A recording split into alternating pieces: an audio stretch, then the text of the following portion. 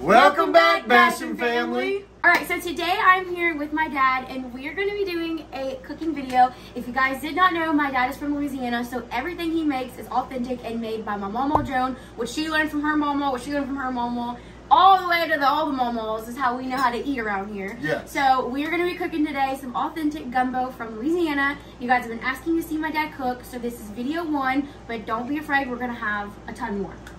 Yes. So, gumbo is like Texas barbecue. Everybody's got their own way of doing it. Theirs is the best. Everybody does it different. You can put whatever you want in it. But yours is the best. We do a chicken and sausage gumbo, and that's it. You can have a seafood gumbo. We don't put shrimp with chicken and sausage. Growing up, that was a waste of shrimp. You made shrimp gumbo or seafood gumbo. We're gonna make a chicken and sausage gumbo.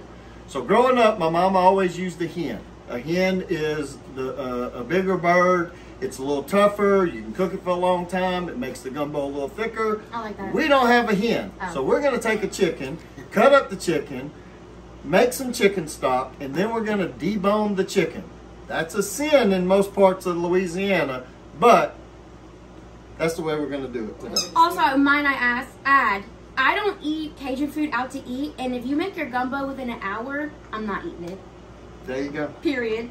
So when I'm cooking jambalaya, uh, gumbo, etouffee, this is my go-to seasoning. It's a, one of my cousins from Santa Monica, Sorrento. He grew up in Sorrento. He now lives in Gonzales. His name is Kim LeBlanc. It is a phenomenal season. It has a balance. You can use whatever seasoning you want. You can use Tony's. There's so many seasonings out there. I love K-Fred's out of uh, Louisiana. Never had that. Um, there's plenty of seasons out there. Use whatever you want. Put whatever you want. no, use this. There you go. Use this. so we're going to use this for everything. And I like black pepper, so we're going to add some black pepper towards the end. So guys, whenever I cook on my TikToks and I use Creole seasoning, everyone has a cow daddy. Like they say, how do you put that on everything? It's salty, it's spicy, it's just not balanced. I grew up on this. This is what we put on every. This is our salt and pepper. Like Yep. that's what we use, and it's so Everything. different. That is so different. No, it, it's not even salty. It's so different compared to what like Yep. Tony's is. Exactly. That's not no Tony's. Has a little bit of salt in it. I don't like the salt, but this stuff has a balance and it is phenomenal. It's all we cook with in our house. When we're cooking stuff like this, I use a variety of other seasonings. I got a whole cabinet full of seasonings. Yeah, but like spaghetti, eggs, tacos, we use that. All everything. Right here. Where can I find it? You can find it on Amazon. It's hard to find, but you got to go to Santa Monica, Louisiana, or Sorrento, or Gonzales. It's on the shelves. That's where I pick it up when I go. I used to buy it directly from my cousin, but I don't cook as much as I used to. I used to buy the big boxes and the Mm-hmm. big containers. So I just buy it from the local stores when I go. We use it for everything. So I want to add in. Look at this outfit. We love the fit, bro. This is my country outfit. This is what I wear when I'm outside. Supposed to be working right now, but I would rather be with Drue than doing anything else right now. Aww. The first thing we're gonna do, we got the water heating for the uh, chicken. We're gonna make a chicken stock. Like I said, we're gonna put the chicken in there, and then we're gonna debone the chicken. When I use chicken, I don't like the bones in there, but when I do a hen, I don't care for the. I, I don't mind the bones being in there. My sister always says bones flavor, so there's a lot of truth to that. So, but a regular chicken, it breaks up. So we're just gonna put deboned chicken in the gumbo. But this is the pot we're gonna make the gumbo out of. You I don't have your gumbo pot though. no, I didn't bring the Magnalite. I would have made it in the Magnalite. This is a, a, a bigger pot. I've had this for a long time, and um, it's one that I can use on the stove. And this is the one we're going to use today. So we're going to cut up bell pepper, celery, and onions. It's called the Cajun Trinity. I don't know where this uh, Holy Trinity stuff come from. Growing up, it was called the Cajun Trinity because there's only one Holy Trinity. But Period. Facebook and TikTok and Instagram and all this stuff comes around, and now it's called the Holy Trinity. We didn't call it the Holy Trinity going up, so y'all don't beat Drue up. We called it the Cajun Trinity. So this is going to be the Cajun Trinity. We used the center of the um, celery. My mama said always said that it was the sweetest part of the celery. I hated celery growing up, and when I got older and started cooking, my mama would always fuss at me. I'd call her collect because we didn't have cell phones back then. and she would say, "Make sure you use celery. Make sure you use celery." So we do not cook without celery. Mama said. Mama said. Love it how you love me electric, like you do. Love it how you love me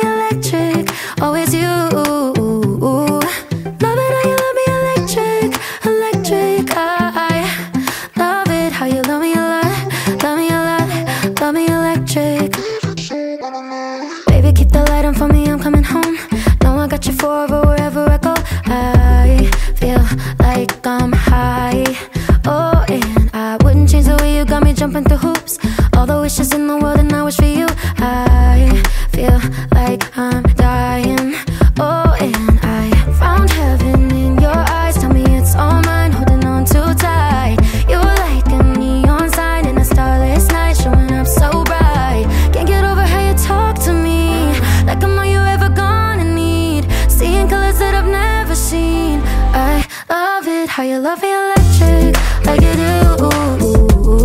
Love it how you love me electric, always you. Love it how you love me electric, electric. I love it how you love me a lot, love me a lot, love me electric. Wired in the moments like I'm walking on air. Tripping over roses every time that you're there. Mind. Got the vegetables all chopped up. Now, if my dad were to chop these up, every single vegetable would be a perfect square and they would all be the same size. Um, yeah, mine are all different, especially my onion. I don't know what happened, but hopefully my dad won't judge me for that. LOL. But he's getting the chicken ready. We're doing a, oh, you're actually doing a hen. No, it's just a big chicken. Oh, wait, what's All the right, difference? so go back to the vegetables. My grandfather on my mama's side was a Spaniard from Italy. I know that sounds odd. There's a huge Spanish community in Italy, thousands and thousands of acre uh, miles wide. I can't think of the name of it right offhand. And that joker could cook, so he would he would cut up all his vegetables at different sizes because he felt like a smaller vegetable cooked faster than the bigger, ve- and they would cook across the board. They wouldn't cook all at one time, and they'd cook across the board. Perfect. I don't know if that's true or not, but so know. maybe my, Something my vegetables are good. Yeah, so your vegetables are good. All right. So we're just gonna half this chicken. That's all we're gonna do. So what's the difference between this and a hen? A hen is a um bigger, thicker. The boss, the boss chicken. Boss chickens? Yep. And uh, I love chickens like that. So it's just the meat's tougher, the the, the chicken itself is tougher, and um, that's just some I don't know stuff I just take out. I don't eat it when I eat at Popeyes, so I take it out whenever I'm cooking with it. Hmm. So a lot of people take the skin off. A lot of people put the hearts and the gizzards in there. I don't like all that, so I don't put any of that in there. You take the skin So, off? yeah. so take the lid off. All right, so I put some seasoning in there, seasoning in there. I might have put a little bit too much. I usually just put a little bit just for the flavor. And um, some people like to put vegetables in there to make their stock. I don't do that. We'll talk about the vegetables later. All right, so since Drue said we're gonna make an authentic gumbo, we're gonna make a roux. Well, we usually use this brand and this brand only. That is the best roux. I cannot make a roux better than that right there. So, there's Nonna. So, I'm old. I get tired easy. I'm sweating from being outside. I don't want to spend two hours over the stove making a roux when I don't want to have to make a roux. So when I was in my 30s, 20s, I traveled a lot. I'd been gone for a while. I walk into my mama's house and I smell roux. My mama made everything from scratch. Everything. And I smell a roux, but I can't find the roux.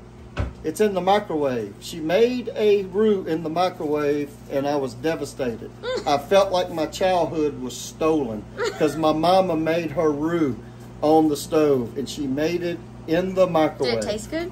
It was phenomenal. Tastes just like a roux. You would so you know. make your roux however you want to. I make mine out of the jar.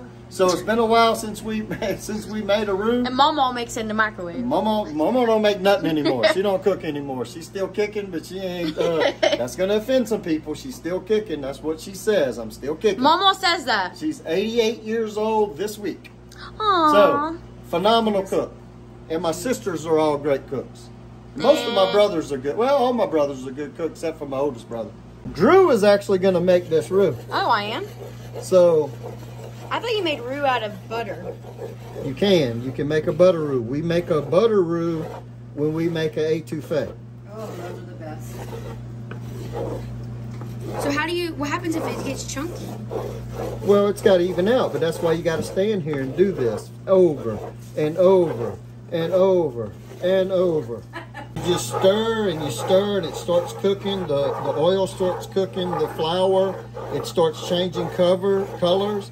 I like a dark roux, so we're going to see how long we can go with this. So it's starting to cook. It's starting to heat up a little bit. It's starting to get a little thicker. The flour will start cooking. In about 10 minutes or so, it'll start changing colors again. And uh, so far, so good. Okay, we're an hour into this, and it's still the same Two color. five hours minutes. later. Yeah, it's been five minutes. All right, so I just turned the heat up just a little bit, just a tiny bit. I'm used to cooking, on flames. I don't like a, uh, Flat a uh, flat top, but it is definitely starting to change. Just getting there. This is not fun for me. I like it. I cook mine in a jar, and it is it is great. I'm gonna show y'all again so y'all can see. You can only get this in Louisiana, huh? Yeah, they are rice farmers.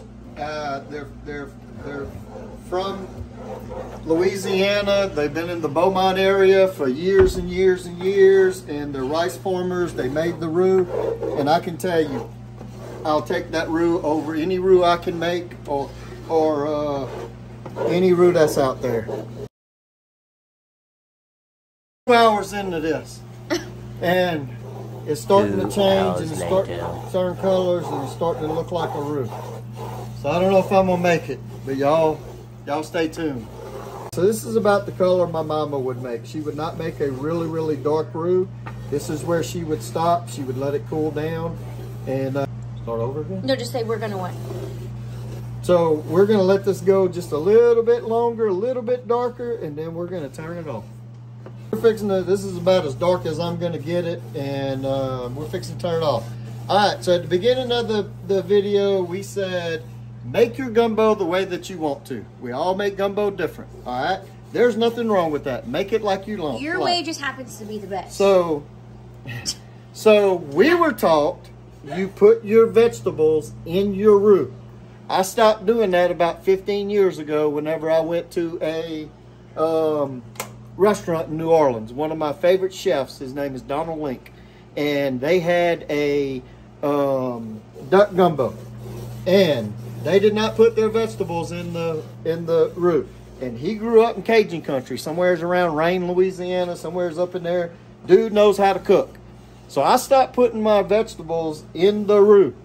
A lot of people are going to have a hard time with that because that's the way we grew up and that's the way we knew how to cook gumbo.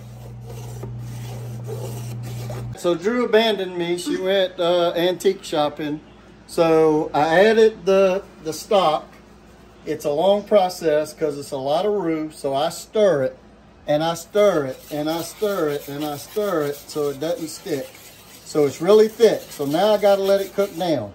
And it's going to cook down for a couple hours. Then I'm going to add my vegetables because I want to be able to taste my vegetables. And then we'll talk sausage. All right, so we're about to put the onions in the uh, in the gumbo, the uh, Cajun Trinity. I like to add half the sausage that I'm putting in. I want to taste the sausage, so I don't want to. I don't brown it. I don't put it in the uh, in the roux. I want to taste the sausage. So we make our own andouille. Andouille is um, coarse ground. It's a little um, leaner. It's heavily smoked, and it's got a little bit more spices to it. Just because it says andouille in the store doesn't mean it's andouille. Okay, so we added the Cajun Trinity and half of the sausage. I like the smoke flavor. It starts uh, gelling into the gumbo. We're going to let this go for about another 30, 40 minutes, and then we're going to add our chicken. I like to use chicken thighs, so we're going to add some chicken thighs along with our deboned chicken that we started from the very beginning. And our potato salad is in the fridge marinating. Done. Potato salad done. Oh, he just put the chicken in there. It is now like 4 o'clock. We've been doing this since like 10 a.m. Putting in the deboned chicken. Already got the chicken thighs in. It's been a long day. We're wore out. Fixing to put the rest of the sausage in. All right, so we made some rice. Sticky white rice. Extra long grain. Like a lot of juice with my gumbo. We like it thick. You can see how thick it is. Lots of chicken, lots of sausage. All right, so anyway, a lot of sausage, a lot of chicken. We like it thick. We will not have the argument over where the potato salad goes. Because I don't give a crap where you put the potato salad. The top, the bottom, the side, outside. Drue made some phenomenal potato salad. It goes on the top. Whatever. I don't I don't care. I think it's silly that it's even a conversation. Actually, it goes on the bottom. But anyway, normally we have big gumbo bowls and the rice goes in the middle, but you can see how thick it is. I've already tasted it. Tastes good. This is just how we cook a gumbo. It's nothing fancy. It's just an old-fashioned South Louisiana gumbo. We put green onions on top. Got green onions. And oh, made a mess. I think we Anyway, made, I think we put made green onions mess. on top. And that's how we eat it. So how many hours did this take you? about six, seven, and it'll. I'll leave it on low and cook it for another couple hours. Take a taste. Take a taste. I already Oh. tasted I'm about it. to It's make. hot. I'm about to make me a big old bowl, and then we're gonna eat some, and we're gonna do a mukbang and answer questions. So you guys come back for that video. Tastes like gumbo to me. If you want to see more videos of me and my dad cooking together, comment down below what you want to see next. He knows how to make literally everything, so we'll see you on the next one. Bye, y'all.